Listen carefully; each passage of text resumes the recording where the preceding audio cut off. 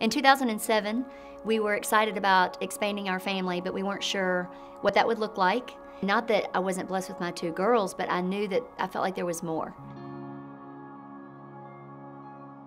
We began meeting a lot of families that had fostered, who had adopted, and all of a sudden we thought, is this kind of, maybe this is our path. I used to think that fostering was for people that maybe were like really strong and I don't know. I just, I thought that's something I could never do.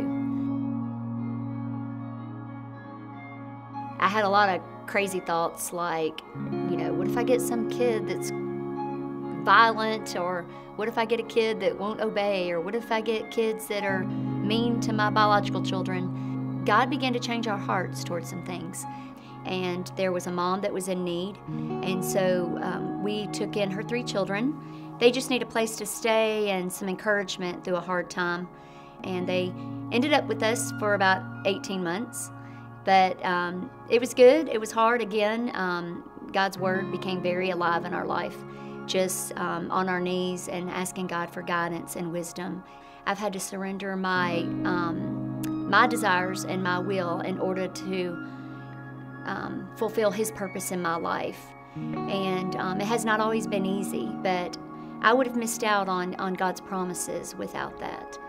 God gets to use our family to nurture them and to teach them something different and to show them God's love and to show them the character of God that God is patient and He's slow to anger and He's abounding with love. And those things need to be shown, especially to kids who've come from trauma and neglect and abuse.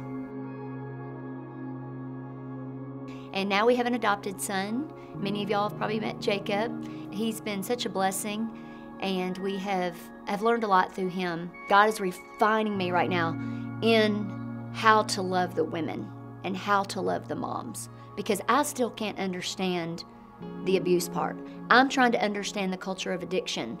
I'm in this big transition of God changing my heart to save all the babies to reaching the moms and the and the, and the dads to just talk about foster care, yeah, let's just get rid of all the moms. But I think God is doing more right now. God is asking the church to go meet the women and and and save the children because so many people that have been adopted that are older, they still struggle. They feel rejected. They feel abandoned.